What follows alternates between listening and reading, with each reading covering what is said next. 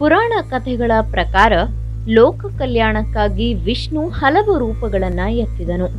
ಅದರಲ್ಲಿ ಹಯಗ್ರೀವ ರೂಪ ಕೂಡ ಒಂದು. ಹಾಗಾದ್ರೆ ವಿಷ್ಣು ಏಕೆ ಹಯಗ್ರೀವ ರೂಪ ತಾಳಿದ ಅನ್ನೋ ಬಗ್ಗೆ ತಿಳಿಯೋಣ. ಆದರೆ ಅದಕ್ಕೂ ಮೊದಲು ನೀವಿನ್ನು ನಮ್ಮ ಚಾನೆಲ್ನ ಸಬ್ಸ್ಕ್ರೈಬ್ ಮಾಡಿಲ್ಲ ಅಂದ್ರೆ ಬೇಗ ಸಬ್ಸ್ಕ್ರೈಬ್ ಆಗಿ ಪಕ್ಕದಲ್ಲಿರುವ ಬೆಲ್ ಐಕಾನ್ ಪ್ರೆಸ್ ಮಾಡಿ. ಹಯಗ್ರೀವ ಎಂದರೆ ಕುದುರೆ ರೂಪ ಎಂದರ್ಥ. ಕುದುರೆ ರೂಪ ತಾಳಿದ ಶ್ರೀ ವಿಷ್ಣು ಹಯಗ್ರೀವವೆನ್ನುವ ಅಸುರನ ಸಂಹಾರ ಮಾಡುತ್ತಾನೆ. ಆ ಬಗ್ಗೆ ಒಂದು ಕಥೆಯೇ ಇದೆ. ಶ್ರೀಹರಿಯೊಮ್ಮೆ ಆದಿಶೇಷನ ಮೇಲೆ ಮಲಗಿ ವಿಶ್ರಮಿಸುತ್ತಿದ್ದಾಗ ಹಯಗ್ರೀವ ಎಂಬ ಅಸುರ ತನ್ನ ಸೈನ್ಯದೊಂದಿಗೆ ದೇವಲೋಕದ ಮೇಲೆ ದಾಳಿ ಮಾಡುತ್ತಾನೆ. ದೇವತೆಗಳು ತಮ್ಮ ಬಳಿ ಆದಷ್ಟು ಹೋರಾಡಿ ಹಯಗ್ರೀವನಲ್ಲಿ ಯುದ್ಧ ನಿಲ್ಲಿಸುವಂತೆ ಕೋರುತ್ತಾರೆ. ಆದರೆ ಹಯಗ್ರೀವ ಹಠ ಸಾಧಿಸುತ್ತಾನೆ. ನಂತರ ದೇವತೆಗಳು ತಮ್ಮನ್ನು ಕಾಪಾಡುವಂತೆ ಬ್ರಹ್ಮನ ಬಳಿ ಬರುತ್ತಾರೆ.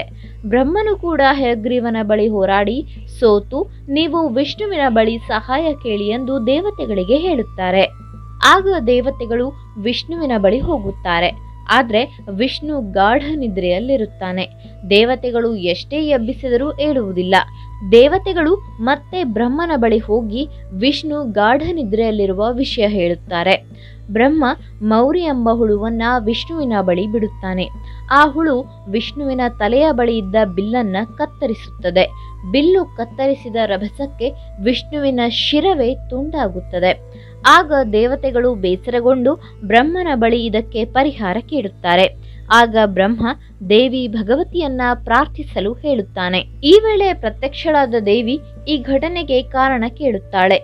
ದೇವತೆಗಳು ಎಲ್ಲವನ್ನ ವಿವರಿಸುತ್ತಾರೆ. ಆಗ ಭಗವತಿ ವಿಷ್ಣುವಿಗೆ ಕುದುರೆಯ ಮುಖವಾಡ ತಂದು ಹಾಕಲು ಹೇಳುತ್ತಾಳೆ.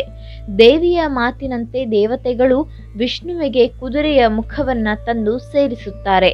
ನಂತರ ಸಹಾಯ ಕೋರುತ್ತಾರೆ. ಆಗ ವಿಷ್ಣು ತನ್ನ ಹಯಗ್ರೀವ ಅವತಾರದಲ್ಲಿ ಹಯಗ್ರೀವನೆಂಬ ರಾಕ್ಷಸನ ಸಂಹಾರ ಮಾಡುತ್ತಾನೆ. ಈ ಮಾಹಿತಿ ನಿಮಗೆ ಇಷ್ಟವಾಗಿದ್ದಲ್ಲಿ ಈ ಬಗ್ಗೆ ಕಮೆಂಟ್ ಮಾಡಿ, ವಿಡಿಯೋನ ಲೈಕ್ ಮಾಡಿ, ಶೇರ್ ಮಾಡಿ. ಒನ್ಸ್ ಅಗೇನ್ ನಮ್ಮ ಚಾನಲ್ನ ಸಬ್ಸ್ಕ್ರೈಬ್ ಮಾಡಿಲ್ಲ ಅಂದರೆ ಬೇಗ ಸಬ್ಸ್ಕ್ರೈಬ್ ಮಾಡಿ. ಧನ್ಯವಾದ.